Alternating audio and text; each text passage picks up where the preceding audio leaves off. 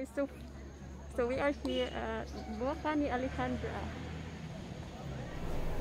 Buwakan ni Alejandra, located at about 32 kilometers from the city, the charismatic garden is enticing tourists and visitors to conquer the long travel just to witness its glamour.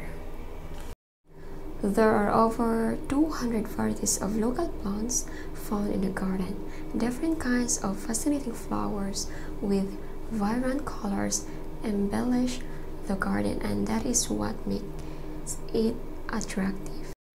Among the flowers that can be found in the garden are roses, dahlias, wax begonias, hibiscus, angel trumpets, and spider flowers.